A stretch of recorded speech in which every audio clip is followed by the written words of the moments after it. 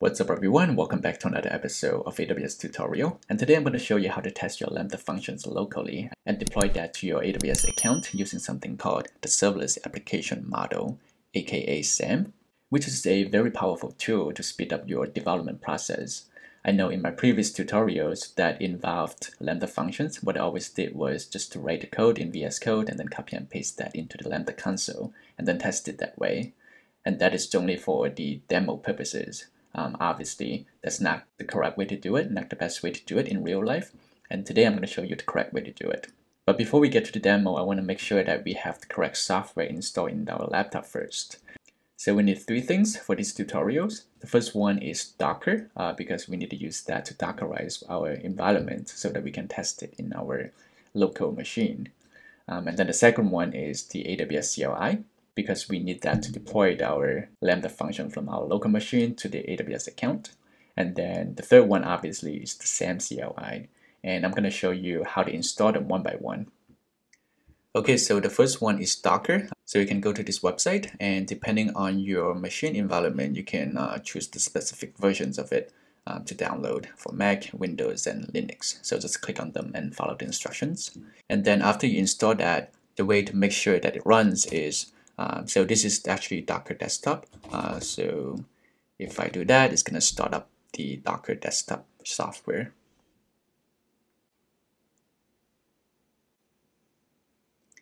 Okay, so Docker is started. Uh, so make sure that you have this local running here. And after you click on it, it should show you all the information. Uh, so that's how you know Docker is starting and running in your machine now. Um, so the second thing that we have to do is to install the uh, AWS CLI.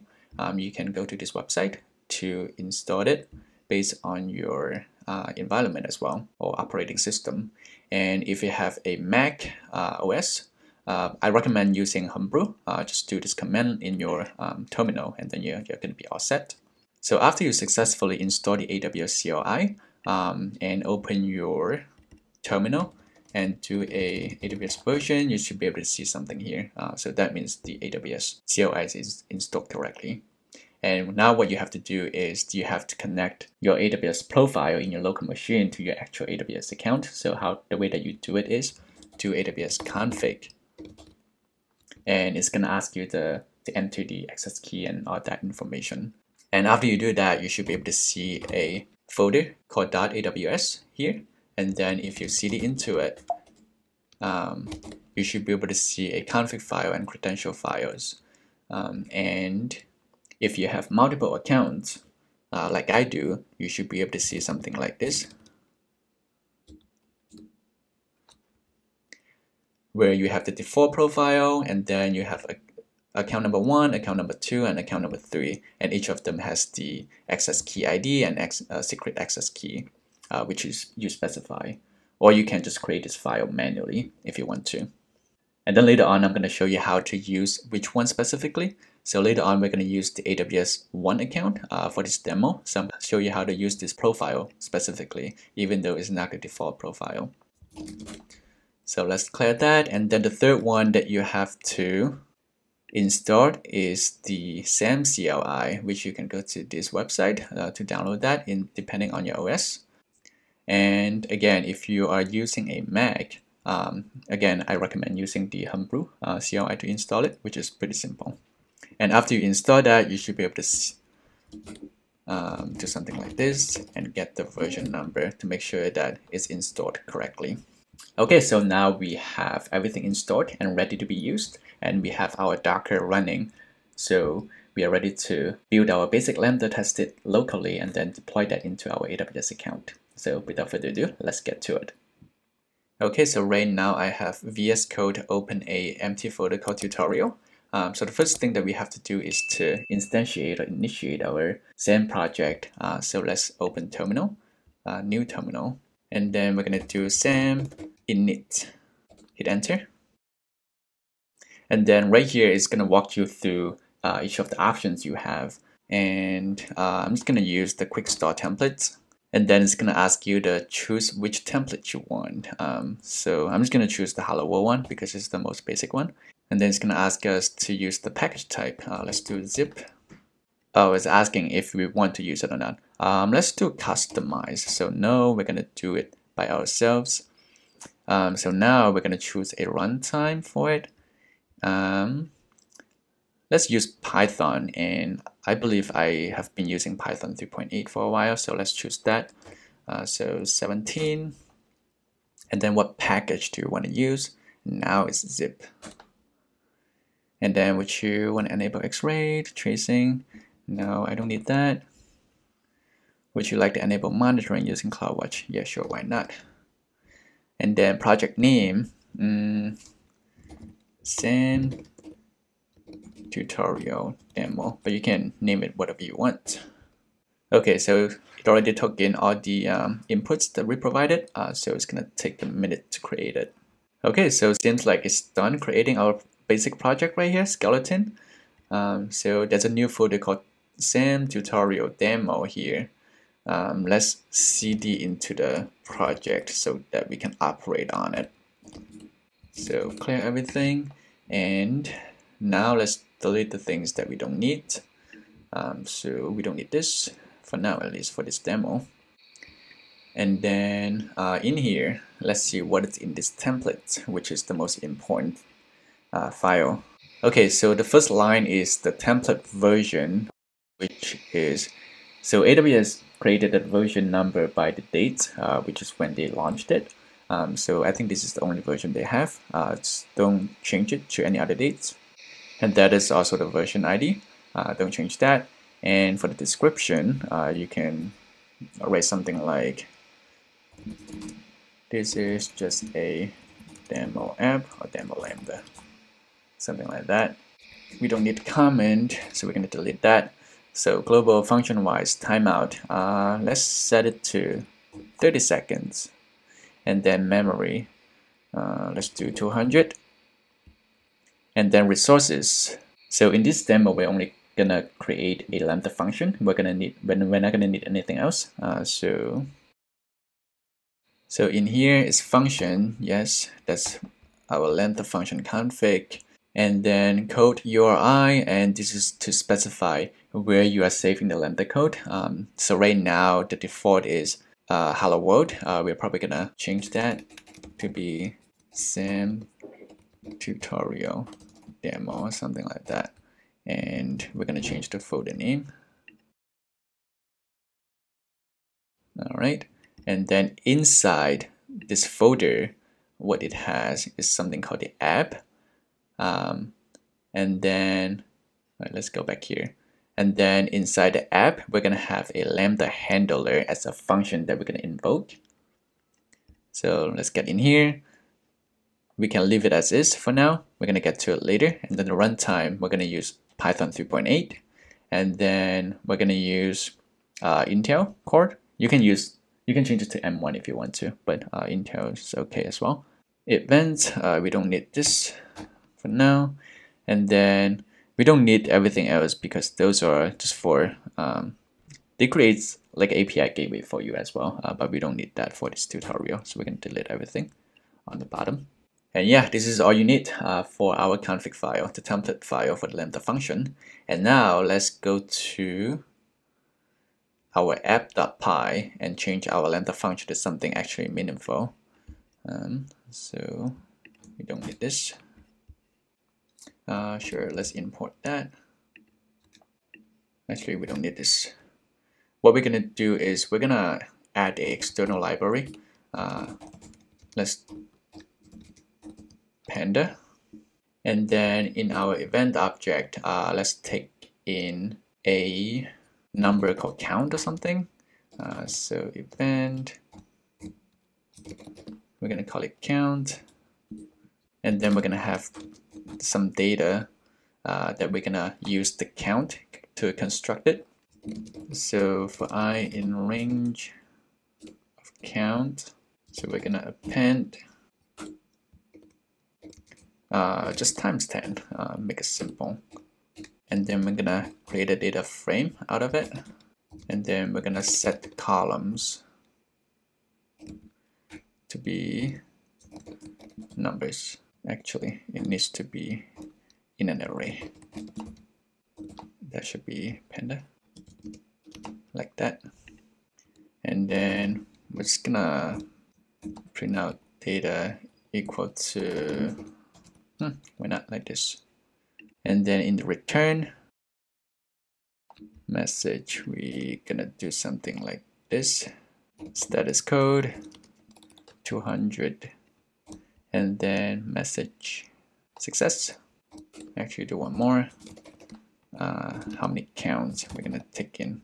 The number of counts we have inputted okay that's it for our lambda function. And since we are using pandas so we need to add that to our requirement so that uh, it's gonna package everything. So requirements.text pandas. And then now what we're going to do is we're going to construct our event object locally so that you can uh, use that as, as our input. And the place where we do that is under the event folder.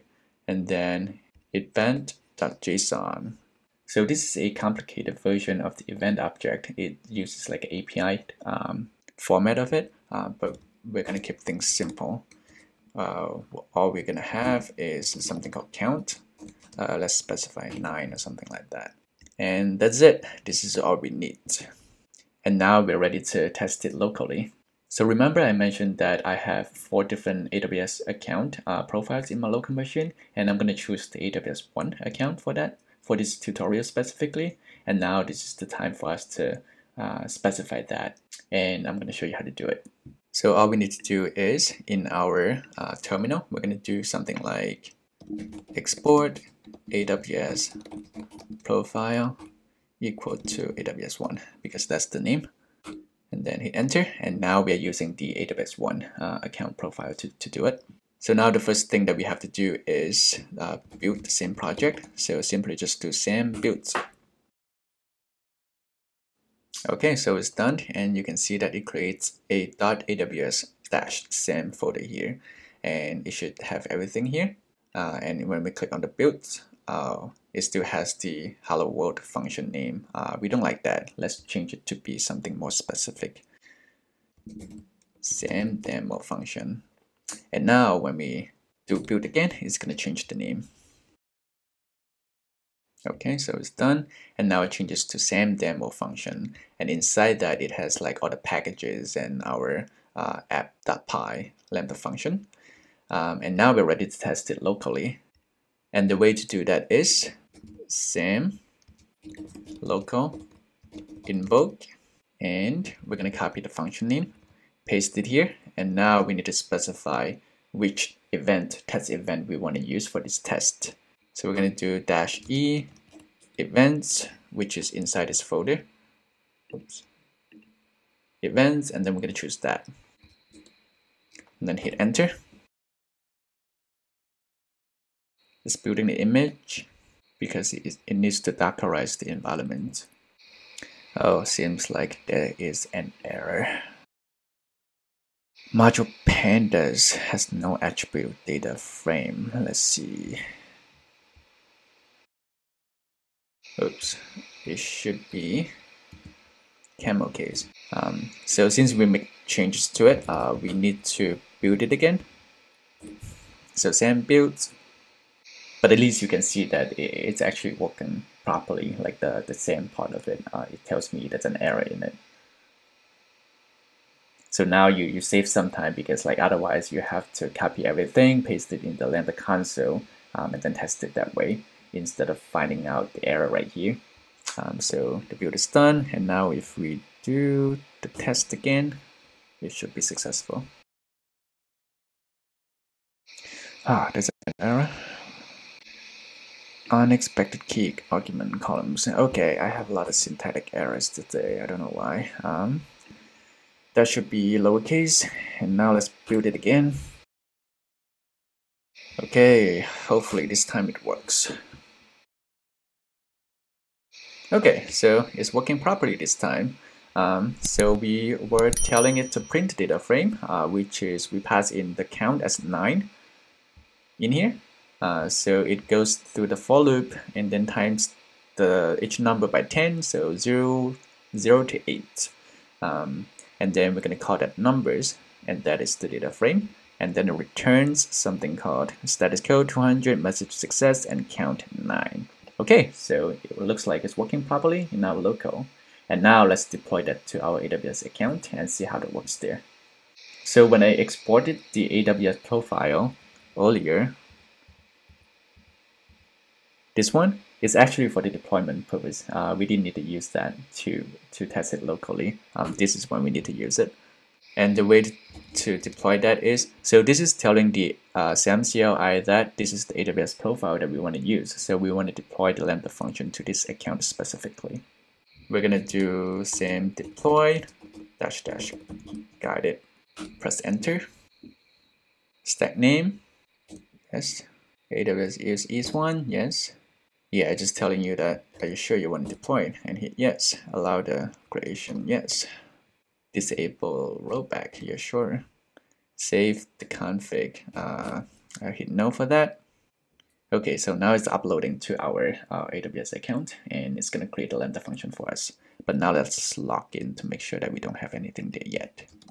In. Okay, so right now I'm on the homepage of that AWS account and let's go to the Lambda function page to make sure that there's nothing there yet. Okay, so it's empty. And now let's go back to our VS Code. Um, and it's asking us to confirm to deploy. And obviously we're to hit yes. And it's to take a minute. And it's actually using CloudFormation in the background uh, to do the deployments and stuff. So right now, if we go to CloudFormation, we should be able to see a stack uh, that's being spun up to create our Lambda function there. And yep, this is created in progress. These are from before when I uh, play around with it. And now let's go, okay, so successfully created a stack. And if we refresh, it should be successful, complete. And now let's go back to the lambda function and hit refresh. And we're able to see our new function is created here. And it says it's only created 30, 34 seconds ago. And now let's click on it uh, look at the settings to make sure that the config matches with what we have. So timeout 30 seconds and memory 200 megabytes, which should match with what we have set up here. 30 seconds and 200 megabytes. And then if we test the code, we should be able to see something similar. Test event, and then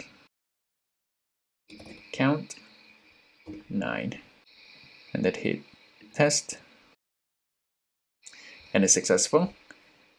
And this is the return object.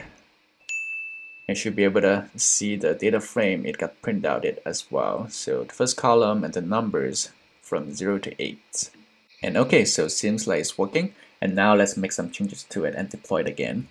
Uh, so let's go back to the lambda function um, print does something like hi bye and then we're gonna do the build again. Okay and now we're gonna deploy. Hit yes yes. Confirm change. Yes yes